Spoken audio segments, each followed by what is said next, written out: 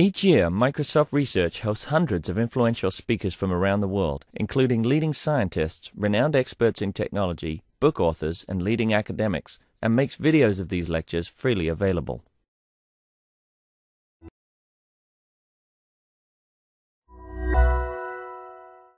because of some family reasons, but I'll try to see if I can cover for both of us. Uh, this morning, if you had a chance, while coming out, you realize that there is a paper in front of uh, your room, but if you had a chance to see, you did look at uh, in the uh, business section about the wireless, Philadelphia going wireless, and right there you also looked at uh, NAV1, where you can also be navigated as well as be told where the clog is when it comes to transit. So today I want to talk to you regarding the infrastructure that we need for uh, wireless village, e-transit village, as well as how we can use public transit system in a more efficient way. Uh, Geno, uh, Jay Leno called SUVs as super useless vehicles. I think we should start looking at what public transportation is in this country.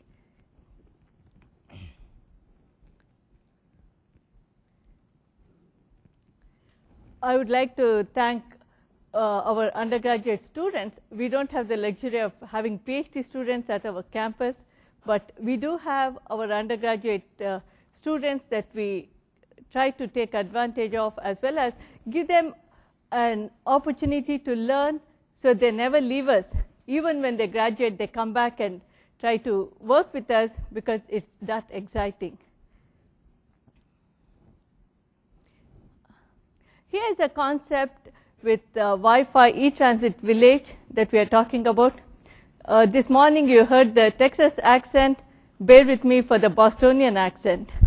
The way Red Sox and Patriots are doing, I think it's okay to blame it on the uh, Boston area. Uh, you see, the dream that we had last year when we talked about e-transit village concept was that we have all these servers sitting in uh, the lab and here is the mobile bus.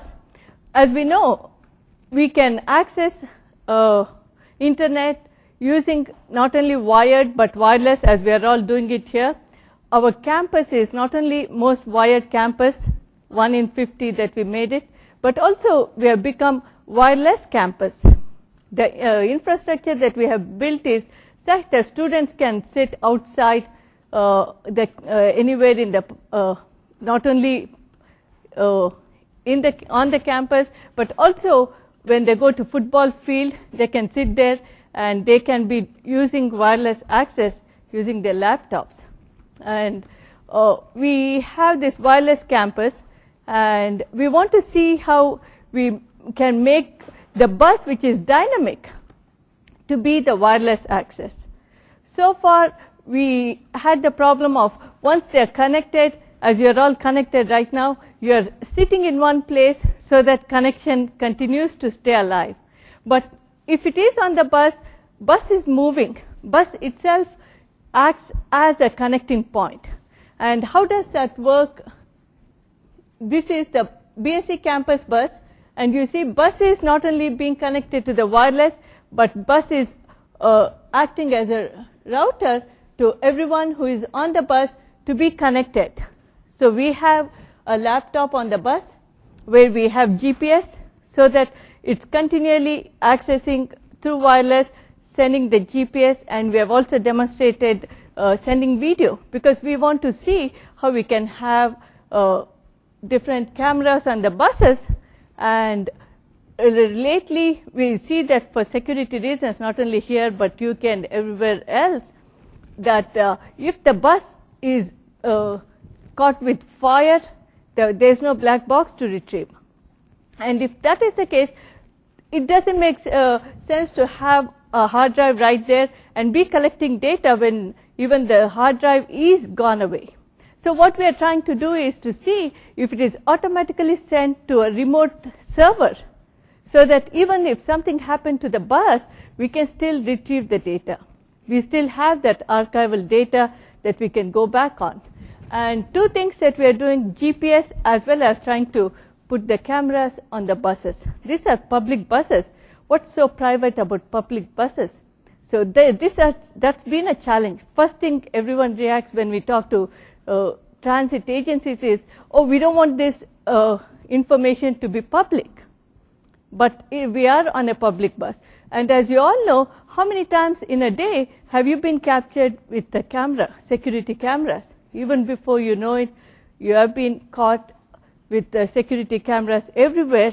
And we are going into the uh, world where triple S, security, safety, and seamless, as well as efficiency and effectiveness are very important for us uh, at this point.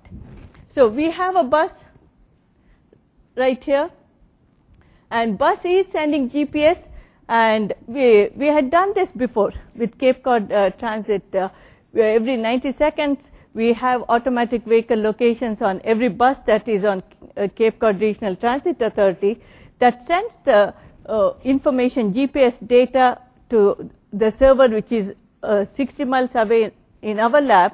And then it's automatically located and not only you will know where the bus is but what we have done is to use that information to see, estimate the time of arrival because it doesn't mean anything to know where the bus is I want to know where, when it's going to arrive at my stop. Especially on Cape Cod, we have, we, I think it must be schizophrenics who live there because the six, uh, three months in summer, it doesn't mean anything to have a schedule because all it matters is the bus is stuck and when does it arrive at one point. On the other hand, the other nine months are different.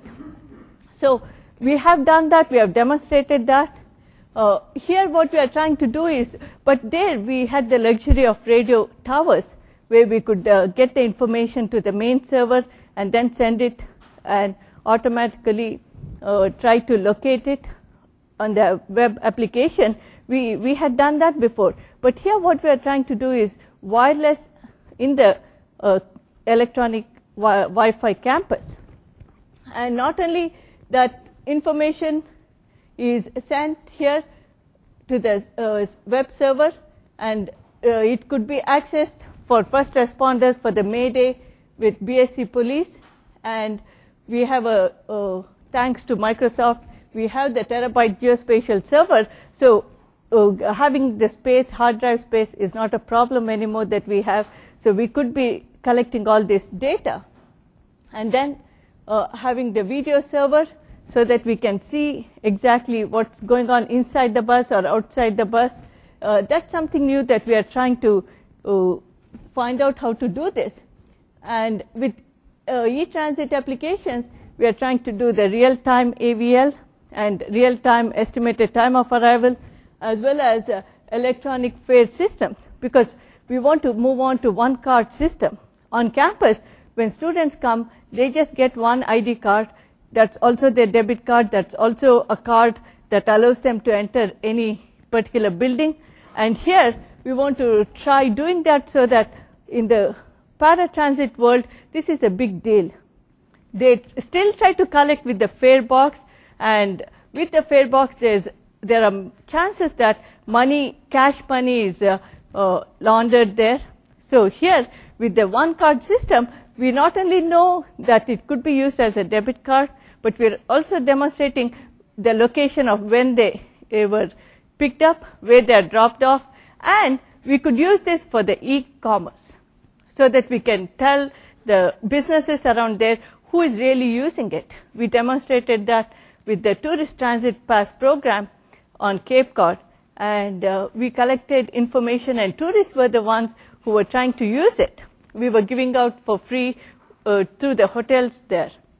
But not only tourists, welfare to work program, it was part-time workers who came, seasonal workers who came to Cape Cod, they started using it because they didn't have vehicles that they brought to Cape Cod. And we, demo, we have demonstrated how a card can you, be used, electronic fare payment system is being used, but on campus with most of them being the echo boomers, now that freshmen are coming with laptops and uh, trying to do this. They are into it with one card system. All they want to carry is one card, which can act as uh, for several purposes. And as you will see here, we have uh, on the buildings of college external Wi-Fi antennas to build the infrastructure for the Wi-Fi, and uh, we have towers that can also go, go up to the residences around the campus. And we are trying to work with the local town hall so that they can also be integrated with this wireless because there's a big debate about the municipal wireless as your uh, lights or electricity, water, they can all be at the town level, they decide it, but when it comes to wireless technology, there is a big lobby going on saying that no, it cannot be the towns which decide, it has to be at the uh, big lobbying groups like uh, private companies. Austin went through this and they have stopped, and Philadelphia has a partial uh, municipal wireless that they're talking about. And what we are trying to show here, which Bridgewater is a rural community uh, southeast of Massachusetts, uh, 30 miles south of Boston, we could uh, try to uh, patch the digital divide, giving access to the wireless. Because we are trying to see how we can bring this kind of technology to the common public. And access is one main thing that we are looking at, not only public transportation, as well as we are trying to see how we can give this access of internet for free to the common person so that they don't have to be uh, putting so much money or it's only for the elite. And campus is what we are used as a model here.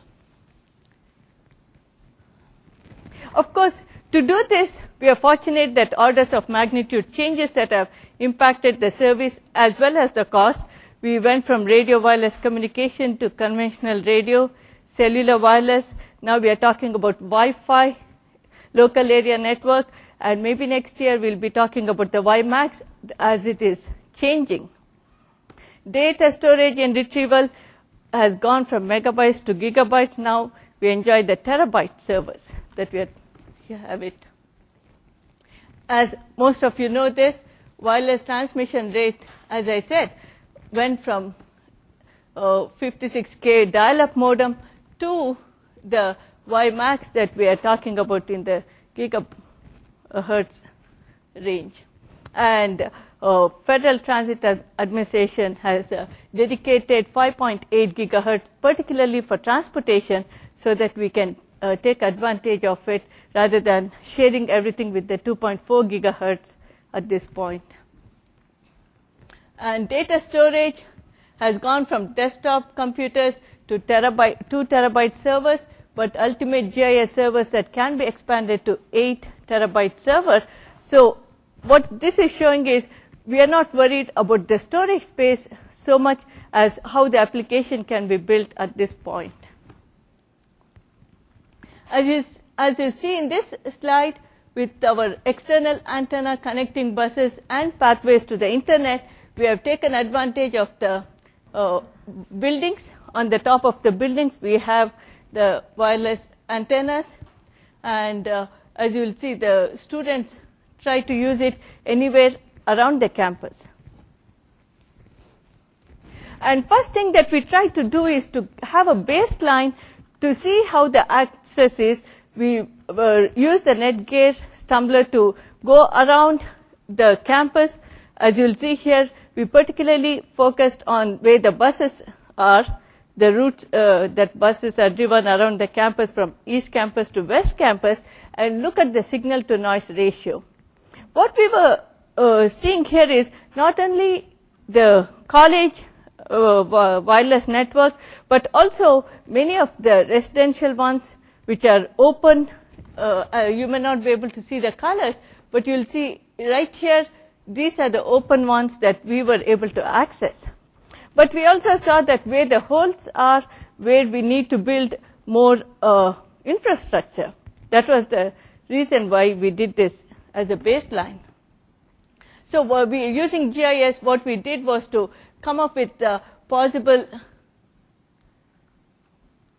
right here,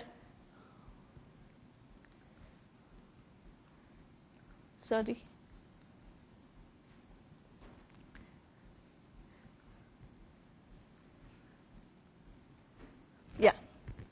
Uh, right here, we came up with the five different access points. At that point, Airespace was uh, uh, going to work with us to put the access points at different locations on campus based on the holes that we saw in November. And just after we went through this and uh, uh, got the access points from Airespace, now it's part of Cisco system. And what we did was to look at the band size from that point. If we had these six access points, how much of the coverage it is, about 0.25 miles and 0.5 miles. So which showed us that with these access points, we should be able to cover the entire campus route so to have the wireless connection. And it was, again, to do this access points, we didn't have to relearn the whole thing. It was plug and play outdoor Wi-Fi antenna that they have created that all we had to do was to go and locate the uh, light poles or the buildings and it was just easy enough for us to get it installed. Of course, there is that uh, uh, challenge of having, as much as it looks easy to go and uh, do this, we had to uh, contact the appropriate people who could just do this within few minutes. After this, what we have done is to take a look at how uh, how it's being uh, done with the GPS on the buses. Usually 90 seconds was sufficient for us, 60 to 90 seconds data was sufficient, but even we were surprised to see that we were able to get 1 to 5 second GPS data. You may ask me why do we need that, but uh, we are able to get 1 to 5 second GPS data continuous of, uh, when the bus is going around the campus. And that has started a new uh, opportunity for us, not only for data collection, what does it mean to have every second refresh rate of GPS from the buses that we can uh, get and how do we use that to uh, for talk about the estimated time of arrival, give that information to the public uh, so that it makes some sense for the application part of it. And we were not worried at this point regarding the data uh, uh, uh, collection because of Microsoft Research 2 terabyte server that we have and that's where we said data storage is not a problem anymore. It's how we use it for the application that we have to start thinking about. At this point, we are also uh, thinking about how we could use this for people with disability. Not only public transit buses should be used by everyone. When it comes to people with disability, as much as we have American Disability Act saying that we should accommodate people with disability, uh, right now we are not serving that uh, population very well. When we hear so many uh, anecdotal evidences and why they don't use it, because uh, when a person who is visually impaired has to stand in the pub, uh, bus stop saying that uh, I'm not able to see, please pick me up. Just imagine how it would be for us to start uh, publicizing it that way. And drivers have uh, said that, oh, I didn't see the person, so they just drive by. At this point, what we are trying to show is if this is happening, there is uh, we are talking about the smart bus, smart consumer. So that when there is a request made, that automatically goes to the server. And when the driver is located at point, they cannot ignore that particular request. And we can go back and try to retrieve the data to see, even if they said, I didn't see anyone waiting, we can show with time, because of latitude, longitude, and date stamp that is in there, we can go back and archive this information and show the evidence how this is. So we are hoping that uh, working with uh, rehab commissions, this is going to change the way we are serving our disabled population. And that's our goal for the future work, that now that we have started collecting the data, nobody can go back and uh, just erase the data. Or ignore and say that we didn't see somebody.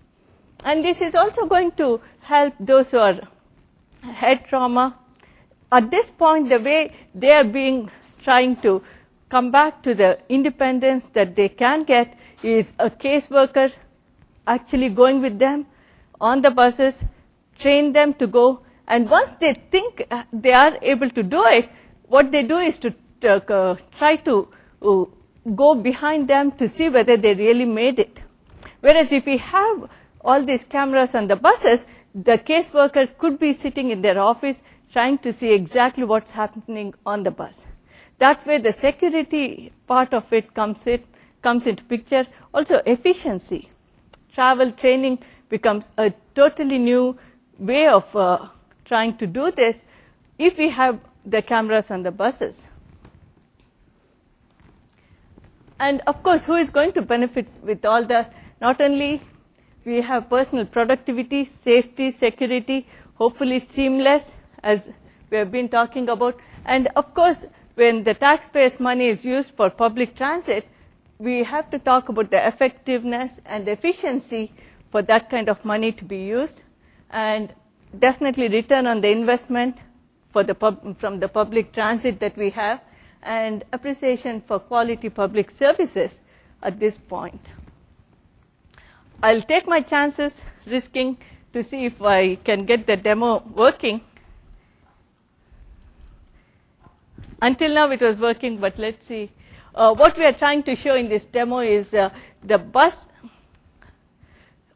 uh, right now is in the parking lot and uh, here we not only have one second GPS so that you can see using this uh, satellite imagery so you have an idea of how the campus looks like and the bus routes uh, drawn on this which is more like the virtual earth when you go to uh, Microsoft virtual earth you get this picture having the uh, uh, uh satellite imagery, bus routes. At this point, bus routes are not there. Hopefully, we can work with uh, Microsoft to try getting the bus routes because we have done for the entire country all the bus routes, public buses. And we can put this information because that's something that is right now lacking whether you go to virtual earth or Google's uh, keyhole earth that they have.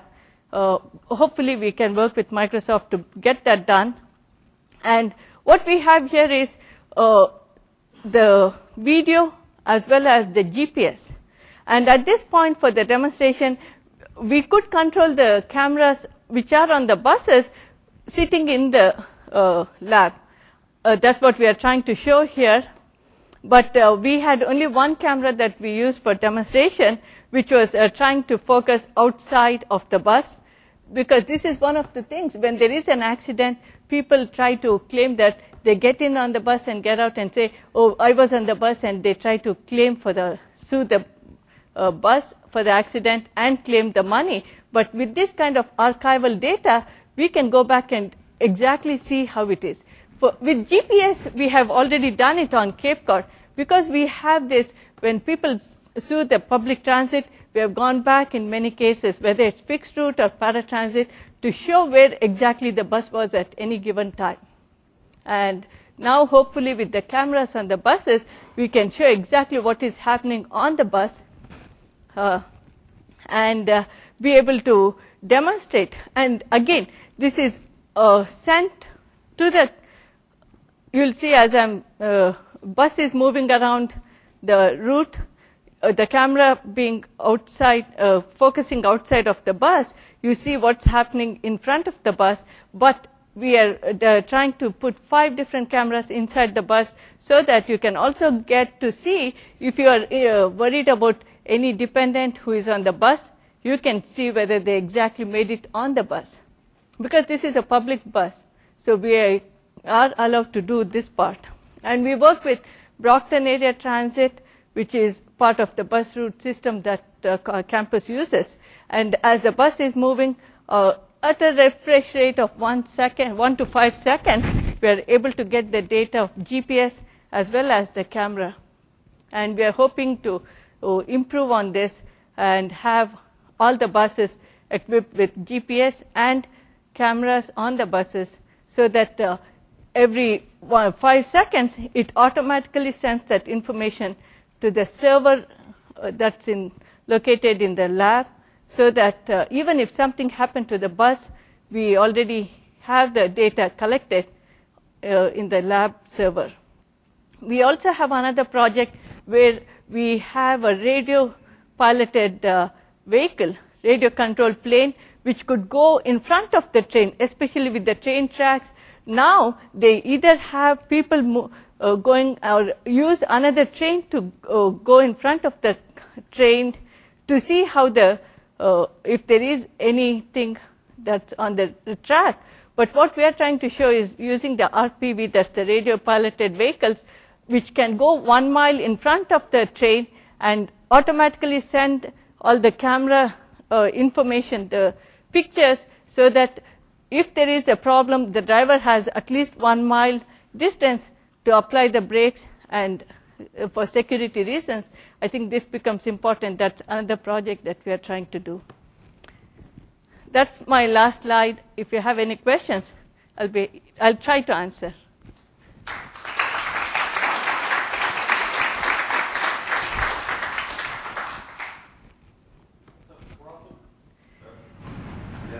Uh, we're going to go into a break, so if uh, keep on track, if uh, we want to start now or keep the questions, and then we can uh, uh, get going on the get the next section going back. I hope it's a good. It's a marvelous.